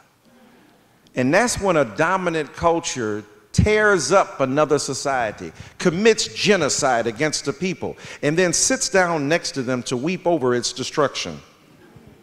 But, but it was you, right? So now my jailer, my murderer, my genocidal executioner becomes the one who wants to empathize with me so that imperialist nostalgia becomes a way of distancing oneself from the recognition of one's own complicity in the horror of that suffering. So only when we begin to talk and express and articulate can we begin at least to, to acknowledge the trauma, let it breathe, let others hear it. That's why hip hop is so important at its best. That's why poetry is important. That's why novels and fiction are important. That's why hopefully my book can make a small contribution uh, to that. I don't mean commercially, although every one of you should damn well buy it. Uh, hopefully. I hope it's worth it. Um, but, but even if you don't, steal it. But what's interesting, steal this book, um, download it for free. So what's interesting is that, is that unless we uh, allow people, and, and, and maybe they feel like voyeurs. Maybe others feel that the pain is too private. And yet, the trauma exposed to the world is against our will, is what so much of our existence has been about slavery. But, but part of the, the trauma to black people in particular, and native peoples as well, has been the fact that the bulk of it didn't occur originally in the 20th century. Say the way brothers and sisters who were victimized by the Holocaust, where there were photographs and film, and we got Django. Now, I'm a fan of Django. I know it ain't popular, but this is a dude who, for most of the movie, was killing these white folk and then looking for his woman. I'm saying, as, as, a, as, a, as a revenge fantasy, you know, now, you can't extricate that from Quentin Tarantino, whose complicated and problematic use of nigger uh, can't be separated from the, from the nature of his art. But I'm saying that because we don't have the, the evidence, and then here's the irony when we do get the evidence, people doubt it. Well, we didn't see the beginning of Rodney King getting his ass beat that time because he might have been a hulking figure, right? Isn't this what they said about Michael Brown? He bulked up. It came at me. He demonized. This is not a Stephen King fantasy. Thank you for the words that support Stephen King. But this is the racial monstrosity evoked in the collective unconscious of America about who we are. And so that, that, that experience has to be articulated, has to become has to become palpable so that we can feel it and in feeling it and making people understand what it is, the, the, the, the, very films we have, these episodes of Castile and, and Sterling losing their lives and people justifying it. Now they become film critics. The mise en scène says that at the beginning, we don't know if the cops said. What we know is that it repeatedly happens to one group of people in particular and peculiar fashion. And now in South Carolina, a man running from the police shot eight times in his back. And only one juror could hang it by saying, I will not hold this man accountable. Now that's where we need white brothers and sisters to speak up about the trauma. Because some brave white people will write me and go, if that, were, if that were me, if that were my people, we couldn't take it. We couldn't deal with it, right? That, that's not what I'm interested in so much as the fact that you know how hurtful and painful that is. You cannot stand by and merely witness that trauma. You've got to respond. And the grief and pain that are exposed need to be addressed in redemptive fashion. So hopefully that's what happens to the expression of that trauma and that grief. All right? Thank you so much. Yes, sir. Thank you. I'm so happy that you're here, Dr. Dyson. It's very elevating. Thank you said something so powerful earlier that has stuck with me. You said that charity is not a substitute for justice. Mm-hmm. It's extremely powerful to me. Uh, my name is Andre Taylor. I'm the founder of a nonprofit movement called Not This Time. Uh, my brother was killed last year by Seattle Police Department, which brought me back home from Los Angeles to Seattle, Washington. What we've done at Not This Time for that brother that was looking for a place to go, we've built a coalition of Native tribes, Latino organization, black churches, and white allies. And we've been fighting for police accountability and to change what Amnesty International says Washington law is the most restrictive law in the nation, the worst. So we've been fighting to get that law changed, and we seem to be having some progression. Um, what you said earlier is striking to me because that charity is not a substitute for justice. And I have a lot of white progressive friends, and we have these great conversations all the time. And what I really try to explain to them is that, and I want to get your take on this, mm-hmm. is that when they are fighting for social justice and they're marching around the country, I often say to them that you're not doing that for black people. You're doing that for yourself. Mm-hmm. I think that it's important that my white progressive friends and people that is involved in the struggle to understand that because there's a limitation for what you'll do for somebody else. Mm-hmm. But when you know and you've taken some accountability that this is for me, this is for us, mm-hmm. then there's no limitation of what you will do. Why mm-hmm. is it for you? Because we need to know that you are not your ancestors of 400 years ago, that you're not your ancestors of Jim Crow. And this is almost a redemptive process, but they have to have an understanding of this process. And I believe that if they come to that place of understanding, then I believe that real change and real power will come because I believe with that understanding there will be an unrelenting force to then help people of color in that capacity. What say you of that? No, it's, uh, it's powerful. I, I just want to let that stand. Amen. Um, I'll just briefly add that, um, that you're so right in terms of the nature of the investment. Because if you're doing it for somebody else, I don't care who you are. You know, mama may have, papa may have, but God bless the child that's got his own, as Billie Holiday sang, but those who don't have their own voice, advocate, you know, suffer doubly because they endure the trauma and they don't have an outlet to articulate it, to express it. And then finding somebody with whom that registers uh, to fight and to struggle. Uh, that is an, indeed an important uh, role. And we know every white brother and sister won't be able to do that. But what's interesting when you think about, for instance, since I work, and today is her 71st birthday, Susan Taylor, who used to be the editor in chief of uh, Essence Magazine and is now head of CARES Mentoring, um, and her gala is coming up soon. Um, she um, talks about mentoring, and the first people to, to respond to the call to mentor young black people are, young, are white women. That's number one. Then number two, maybe black women, number three, white men, or those reverse, and then black men last. So what's interesting is that now you could say, well, black people got to be more interested in their kids, and they do. Um, but it also bespeaks the kind of privilege that some people have to spend time to be able to engage in a very redemptive act. But you got to acknowledge it. You got to acknowledge that, that we need those white brothers and sisters on the front lines, right? And so we're not shooting at you. We're not trying to damn you in terms of charity versus justice. We're saying what you're doing is a stopgap measure that is critical to the redemption of those people that you address. But we also have to, while you are fixed painting the building, we got to keep it from falling apart.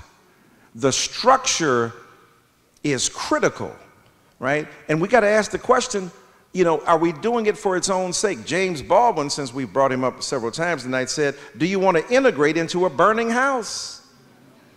If your goal is integration, you'll do it at any cost, even a burning house. No, the goal is redemption. And integration becomes a means toward that. But if the house is burning, we got to put the fire out before we integrate into that.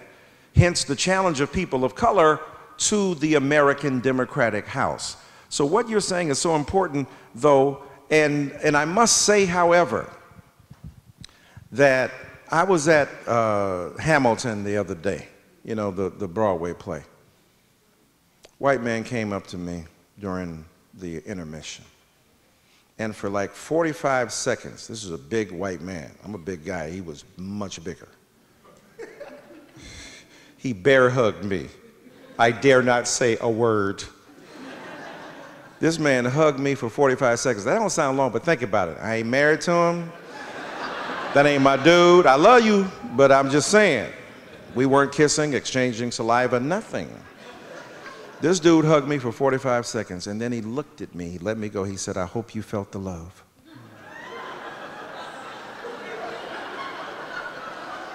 I said, shit, what I did was feel the fear, but then after that, Yes, I did feel the love. He says, I want you to know what you're doing is so important and so courageous. And I know you must receive such hate. But I want you to know there are many of us white people out here who love you and support you. Right? My man. Right? That's real too. Right? And how do we accentuate that? How do we embrace that? How do we speak to that? How do we encourage that? Yes, we cannot reduce that to mere interpersonal interactions that avoid the social structural realities that need to be changed, but it's both and. It's the ultimate and the intimate. It's the individual and the institutional.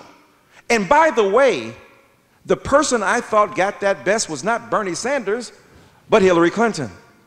When I listened to Hillary Clinton's speech on race that she gave at the uh, at the, was Schomburg?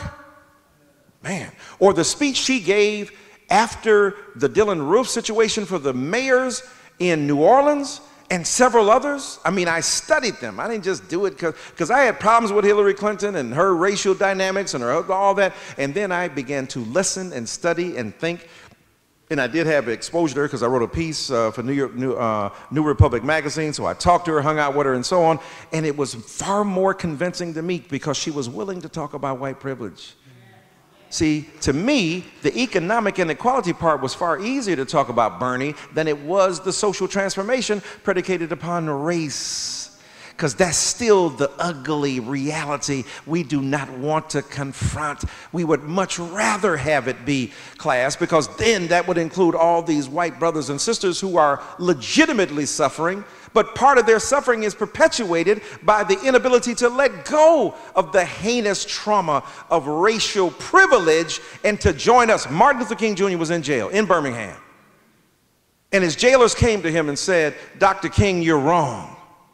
You are invested in changing, but this is right. Segregation is right, and your demonstrations are wrong. You know, Dr. King. Now, my brother, I want to hear what you're saying, but I must confess that it is an abhorrent aberration from the truth. now, right? That's why Dr. King wasn't going to debate Malcolm, because Malcolm be done said 10 things before then. But he said the following How much you make? All right, going back to our law professor's point. He said, How much do you make? And they told him, he said, Well, hell, y'all need to be out here marching with us. He said, You just as poor as the Negro. So my point is, that white people have been sold a bill of goods on the level of class, have this racial compensation that they're not a nigger. Whereas if we could join together and move beyond the precincts of privilege that are falsely conferred, then we could see the unification of the masses of people of color and white brothers and sisters. So, yeah, it's very important, and what you said is extremely important, and the investment personally is so important, and many white brothers and sisters are doing it. I want to uh, continue to encourage them to keep on doing it, even as they add that arsenal. It's like Kobe Bryant. Every year he came back, he had something different to offer, right? y'all ain't got no basketball. Okay, I don't want to get it's sore. Oh, I'm sorry. I'm sorry. What, Russell Westbrook, you know, you ain't seeing it up close, but y'all gonna get one. Seattle Supersonics, Spencer Haywood was the bomb. But, but every year, every year, you come back, you're great, but you add another piece. Oh, I got a jump shot now. Oh, I got a fadeaway now. Oh, I got more defense now. So, white brothers and sisters who are liberals, keep adding to your arsenal. You're empathetic, deconstruct innocence, deconstruct privilege, begin to think structure even as you commit yourselves to the great work that you're already doing. But thank you so much for that. Oh, wow. How are you holding up? I'm good. I'm good. I'm good. Okay. We got to let, let the people talk. I know. So you okay. Enough, so that means I should shut up. No, no, right? no. You, uh, these questions and yes, then and then we're done. Okay, okay, cool. Yes, ma'am. All right. Oh, you gonna ask? Oh, you you got another one? I, I oh, you got to hurry up. People gonna get mad at you I now. Know, I know. See, so, so wait, wait, wait. See, the white liberals are going, to look, there's a limit. All right, hurry up, hurry up. You're going to get me in trouble real, real quick. So I mean, one of the things that we're talking about is solutions. Right. And especially as you spoke about Dr. King, mm-hmm. one of the things that happened during the civil rights movement was that we used what was in our community. Right. We used the churches, we used the schools, we used the organizations. Right. And so we, the people that right. are here, represent what's here to help. We are the solution. Okay, so what are you saying? You asked me what's the solution? You're saying that I, you made a point. I agree with you. We are the solution, and, and unless we're willing to apply it, it won't get done. I agree with you on that one right there. Thank you so much, okay. love. I appreciate you. All right, book buying people are leaving. That's bad news for my publisher, man. so we got to hurry up, my man. So give him love right here.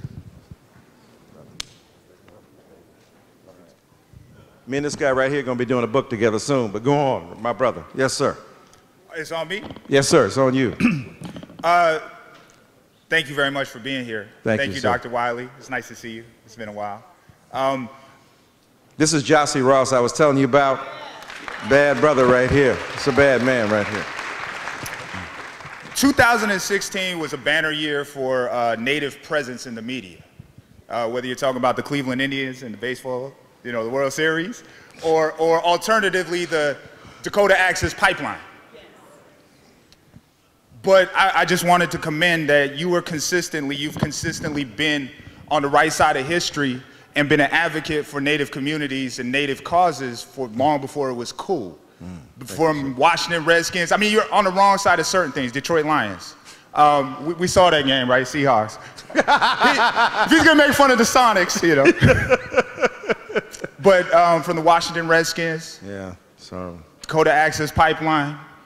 Violence Against Women Act, Native provisions. I want to commend you for always being there. Yeah, One of the things, I've been doing a little bit of reading, and Native and black students have the highest proliferation of uh, expulsions and suspensions yes, mm. from public schools. By far, it's not even close. Right.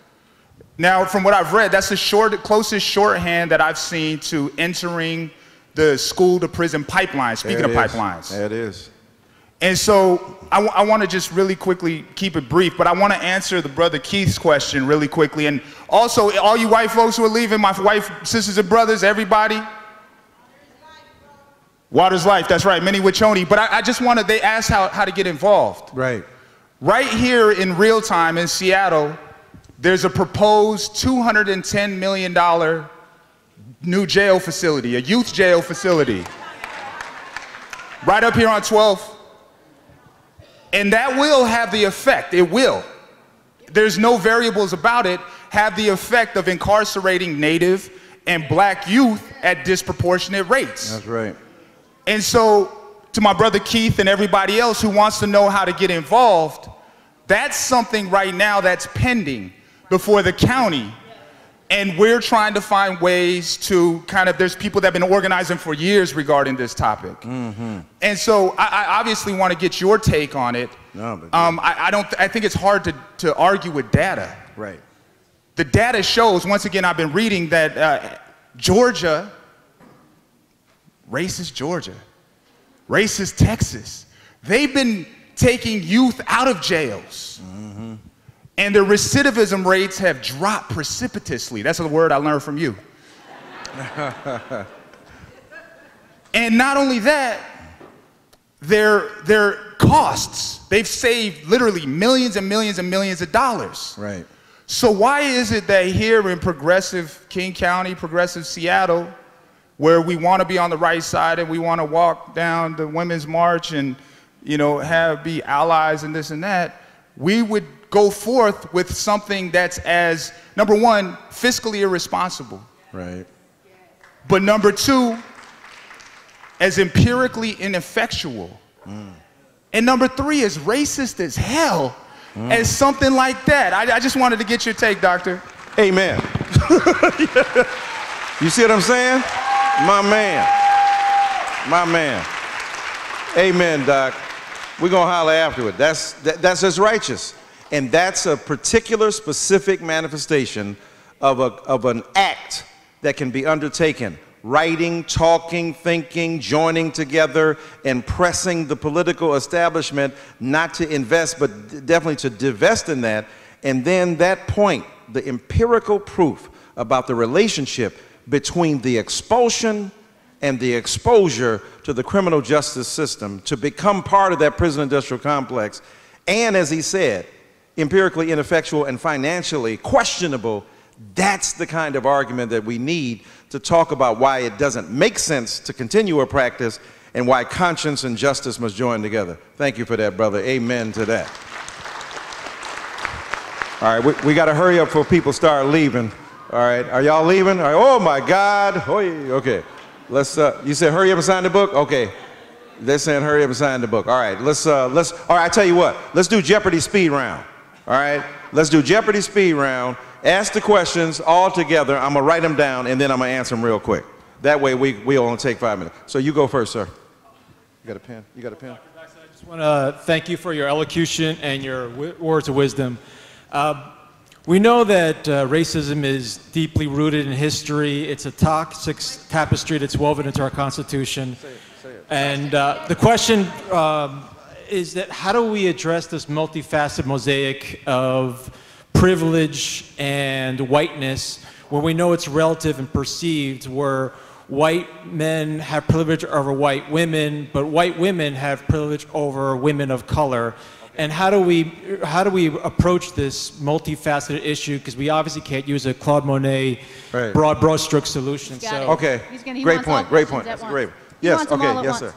I was just asking about um, given capitalism's exploitation and racism's means of justifying said exploitation, um, what are some ways that we can navigate some of that white fragility and make more people see that the racism is hurting them just in the same way as it's hurting the people that Great point. Yes, sir. Thank you. Great, great Yep. point. Yes, ma'am. I agree that racism is a made up construct in order to be racist. So, can I call myself something besides a white person? Okay. Amen. Amen. All right, yes. Please check out www.gotgreen.org. It's not about smoking and toking. It's about young people, working, people of color, low income families coming together. One of their future strategies is a movement school. Create a movement school to develop our members' political analysis and organizing Okay, we have skills. to cut to it that, off. and Thank you very much. We have to cut it off and we get book signing. Okay. So thank you. Thank okay. you. Let me, no, okay, no, no, no, very good. So let me very quickly, yes, multif- multifaceted mosaic, that's so powerful. Privilege of whiteness. White men more privileged than white women. White women more privileged than people or women of color. We have to acknowledge that. And when we do that, we pay attention to how our own oppression also generates privilege. I tried to say that earlier with black people, and I think it's important. Uh, capitalism and racism, white fragility hurts white people too. Amen, amen, amen, amen. It undermines the authority and integrity of the spirit and soul. And then finally, other calling yourself something other than white, amen. So let's generate that so that everybody can be able to deconstruct what that whiteness might mean and then rename it in a renaming ceremony that will make this nation a better place. Thank you all so very much. All right. Thank Dr. Jennifer Wiley for what she did here tonight. All right, where we, uh, we're right here? Okay.